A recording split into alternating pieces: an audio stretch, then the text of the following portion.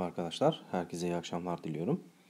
Şişe hisse senedini kısaca bir değerlendirmede bulunalım. Günlük periyotta şişe grafiğini açtığımızda karşımıza bir yıllık böyle bir trend çıkıyor arkadaşlar. Geçtiğimiz yıl Mart ayından itibaren yukarı yönlü başlatmış olduğu trendi hızlı bir şekilde e, güçlenerek, arttırarak devam eden hisse fiyatlarını kendi içerisinde düzeltmelerini de yaparak gayet güzel bir şekilde e, ilerlemeye devam etti. E, şu bölgede Eylül ayında bir zirvesini aldıktan sonra sert bir düzeltme e, yaptı birleşme sonrasında. Daha sonrasında yine baktığımızda e, Ocak ayının ilk haftalarında zirve tekrarı ile birlikte tekrar bir düzeltme eğilimine girdi.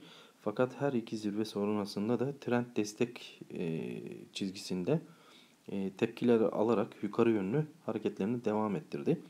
Bu noktada yakın planda baktığımızda son iki e, düşen zirvesinin altta e, trend desteğiyle birleştiren bir dip noktası. E, bugün yapmış olduğu bir hareket var. E, ortalama hacmi 150 milyonu bulan e, yeşil bir doji mum yakması. Bakalım e, bu trend desteğinden tekrar yukarı yönlü bir tepki verebilecek mi? Piyasada şişe sesine müsaade edecek mi bu konuda? E, daha öncesinde bir e, 8 liralara doğru gitme eğilimindeydi. Fakat buradaki işte düşüşten sonra endeksin de biliyorsunuz negatif etkisi ve özellikle hep anlatmaya çalışıyorum Biyop tarafındaki e, baskıdan dolayı diyelim.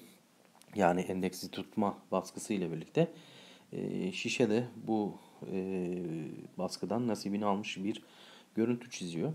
E, şöyle daha gerilere e, gidip bir baktığımızda sanki daha önceki zirvenin bir onayıymış gibi yani şu bölgede yapmış olduğu e, zirvenin bir onay evet noktasal da onayını almış gibi gözüküyor. Orayı da şöyle bir kısa çizgi atılıp hani bunun üzerinde kalmalı diye bir not ilave edebileceğimiz bir nokta arkadaşlar. Evet arkadaşlar nerelere geliyor? 7-14 civarı bir bölge oluyor orası sanırsam. Tabi tam rakamı belirlemeye çalışırsak şöyle üstüne gelip evet 7 7-16'ymış arkadaşlar. Ee, bu noktayı özellikle belirtmek istedim. Yani 7-16 üzerinde e, duran bir e, fiyatta e, şişe hissesinde e, pozitif beklentimiz devam edebilir.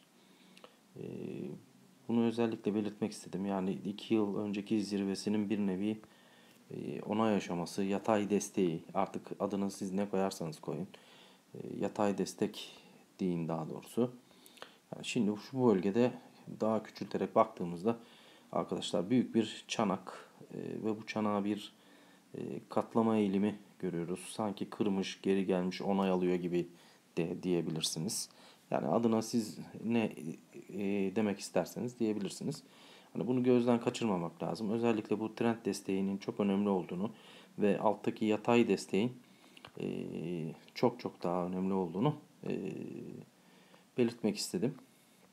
E, bu noktada hemen şöyle indikatörlere de osilatörlerimize de baktığımızda e, günlük periyotta negatif bir baskı olsa da e, RSI'nin 50 üzerinde böyle kalmaya çalışan bir çabası olduğunu görüyoruz. Yine bir trend sat durumunda hani bu yatay destek ve trend desteği kırıldıktan sonra yatay desteğe kadar e, çekilme gerçekleşebilir şişe hissesinde. Eğer e, burada bir aşağı yönlü kırılım gerçekleşmiyorsa tekrar yukarıda mavi düşen hattı kırmak için yukarı ataklar görebiliriz. E, bu atakların da e, buradan kalkıp yukarı doğru gittiğini farz ettiğimizde 7.60-7.70 civarındaki e, düşen e, direncine takılacaktır veya kırıp geçecektir. Kırması halinde 7.90'lardaki ve daha sonrasında bir önceki zirvesi olan 8-19'lara doğru gitme eğiliminde olabilir. Benim ümidim bu noktada arkadaşlar ya bir ikili dip yapıp şuraya kadar tekrar bahsetmiş olduğumuz 7-16 noktasına kadar gelip ya bir W yapar ya da ya bu trend üzerinde bir W çizebilir. Bu W eşit şekilde çizdiği zaman fiyatın 8'lerin üzerine atabileceği mümkün. Atabilmesi gayet doğal olur. yarın yarından ziyade daha doğrusu bu hafta şişe hissesi için E, oldukça önemli bir hafta. 7.46 üzerinde yani bu e, yatay desteğe sarkmadan trend desteğinden eğer yukarı yönlü tepki verebilirse e, yuka, yukarıda e, direnç noktaları olarak karşımıza haftalık pivot değerleri çıkacaktır.